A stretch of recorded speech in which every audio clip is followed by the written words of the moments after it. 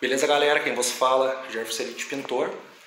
Uh, se o YouTube sugeriu esse vídeo pra você, tem o vídeo 1, que é como é que a gente removeu a textura aquela rolada. A produção vai botar aí uma foto aí pra galera ver o que é a textura rolada, beleza?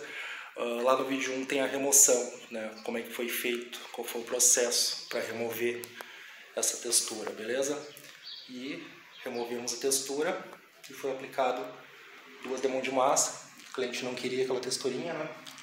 Queria um teto liso, cozinha, sala e o corredor. Textura rolada que estava bem porosa, bem graúda, né? Então foi removido e aplicado duas demãos de massa corrida. Corre lá no vídeo 1, certo? Vê como é que foi feito o processo, beleza? Textura rolada para alguns uh, quesitos, né? É legal, mas eu acredito que o teto, para ficar top mesmo, tem que ser totalmente liso, né? Então, corre lá para ver como é que foi feito o processo.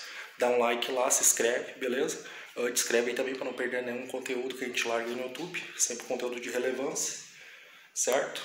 Te inscreve, aperta o sininho para não perder nenhum conteúdo. Dá aquele like. Se tiver alguma dúvida sobre pintura, vai nos comentários que a gente responde, beleza?